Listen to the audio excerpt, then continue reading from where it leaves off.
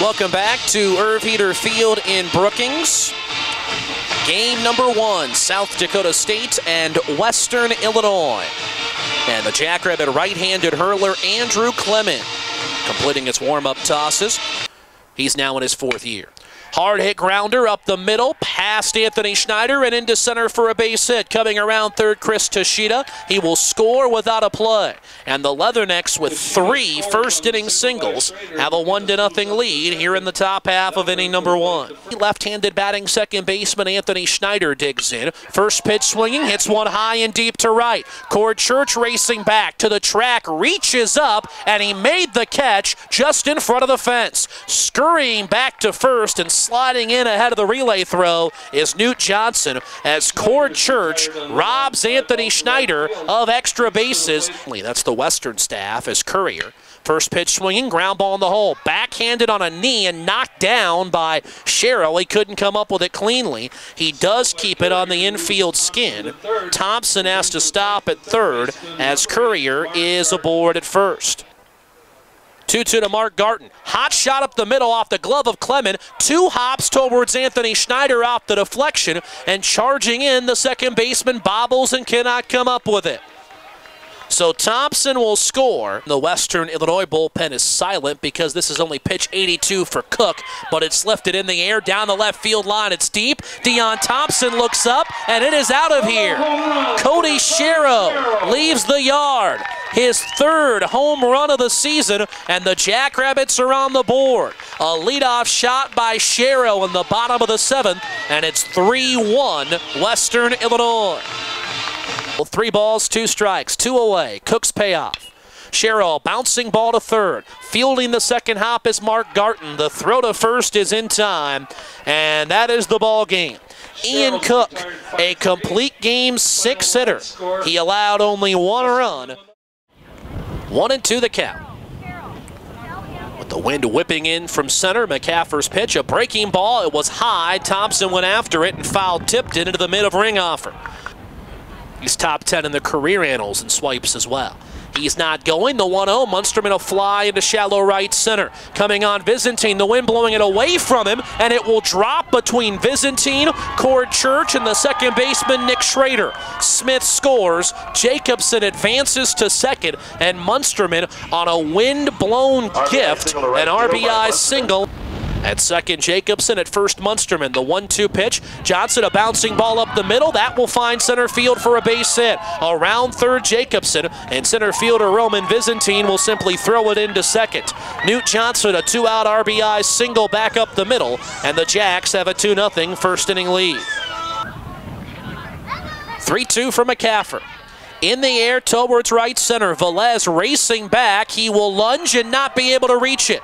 It'll land between Velez and Jacobson. Into second, standing up is Connor Courier, fighting the wind. An RBI double into right center by the Western Illinois first baseman has tied this game at two in the top of the fourth. Winds at 20 plus, consistently gusting up over 30 this afternoon. Runners go, pitch on the inside corner. Ringhofer's throw to third, gets away from Newt Johnson into left field. Courier coming home, he'll score. Now caught between second second and third is Garton. The throw back to second, and he's tagged out by Anthony Schneider, and the inning is over. One two pitch to Jacobson is a little roller to short.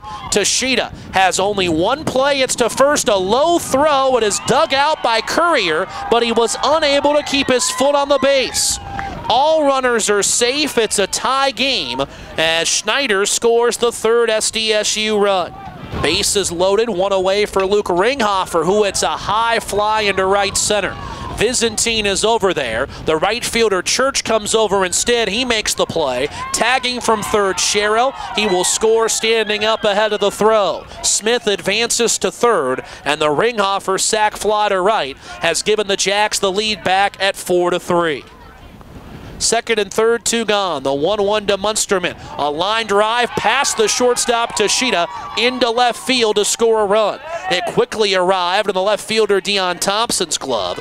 Schneider goes. The 2 1 bouncing ball up the middle. Vacated area where Toshida was. It's into center field. Around third, Schneider. The throw home by Byzantine online, but late. Throw down to first. Courier's tag is laid on Shero. It's an RBI single and the second hit of the day for the SDSU shortstop. And Schneider scores. It's 6 3 Jackrabbits. 1 2 from Fromm out of the wind.